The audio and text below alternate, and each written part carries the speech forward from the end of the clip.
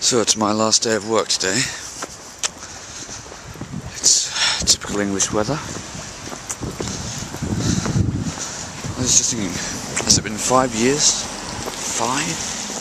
If I can today, I'm going to show you a little bit around the place that has been my place of work for the last five years. Well, except that it hasn't, actually. Uh, it's been my place of work for the last six months, but um, I've actually been working for the company for five years.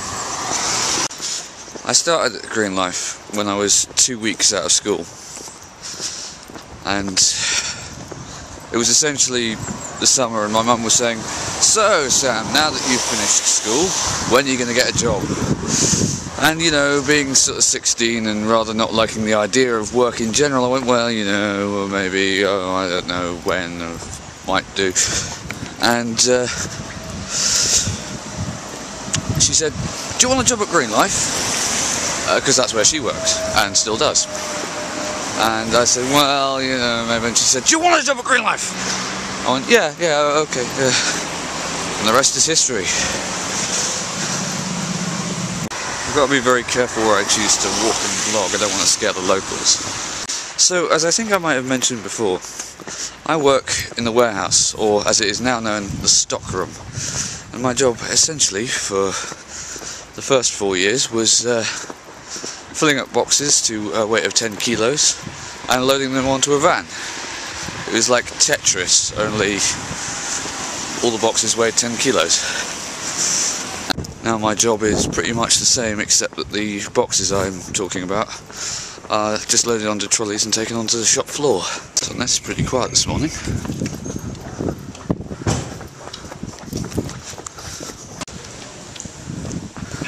This has essentially been my job for the last five years.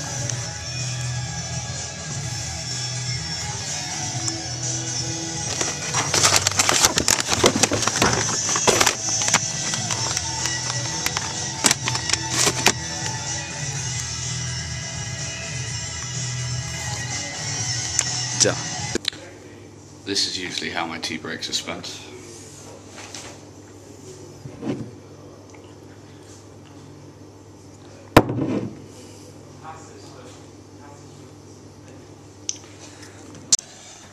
Last packing list. Let's see what we got. Quassia chips, green clay, pink salt, and curry powder. Sounds fun. The packing department. One place I'm indispensable from.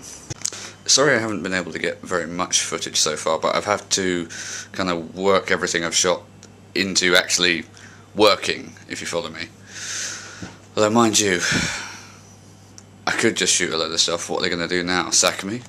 I suppose you'll probably want to see the shop floor. I will try and show that to you. However, a lot of the staff, much like a lot of Totnesians in general, don't actually like technology of any kind. They're a little bit like fairies. The second they see man-made technology, they sort of scatter away quick as lightning.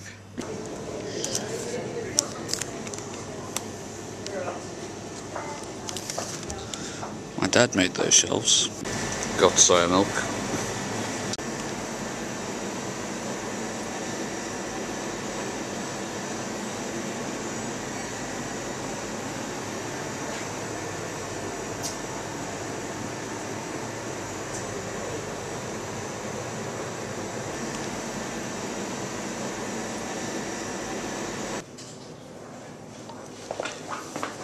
Welcome to the dark side.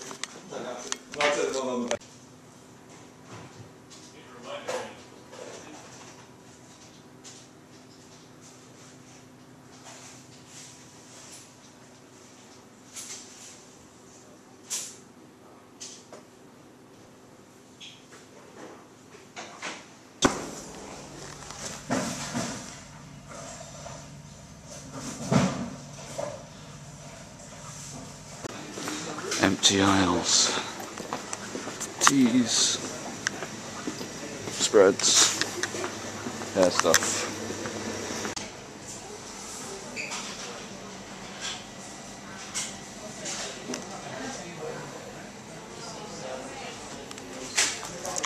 Probably as good as you're gonna get, I'm afraid. Bye bye, stockroom. Bye bye, staff room. So that's it. Glorious unemployment beckons. Well, for the next few weeks anyway. Then I can call myself a student again. Won't that be nice? There is, however, one last stop I feel I should make before I end this.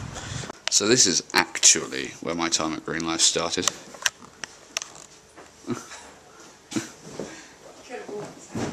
you what? Said you could have warned me. Ah. Sorry, I didn't see you there.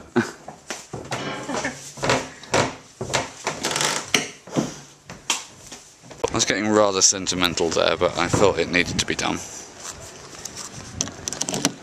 So we're at the waterside. Uh, we're just ordering drinks. I've ordered my one drink that I'm allowed for the evening because I have to drive home. It's going to be an Erdinger. I hope the weather doesn't put too many people off.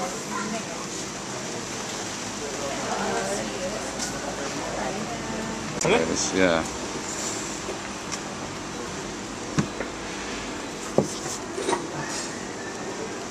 Cheers. No, my car does not have a cloaking device, it is just blending in with the background. Chameleon circuit, perhaps. Well, it's over now. It was really, really touching, actually. It has always been the people that make Greenlife what it is.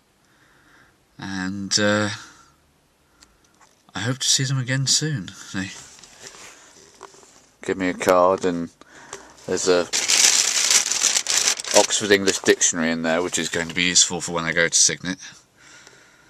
Yeah, it, it's going to take a couple of days I think before this actually sinks in, but yeah. It was a brilliant time. Thank you. And thanks for watching.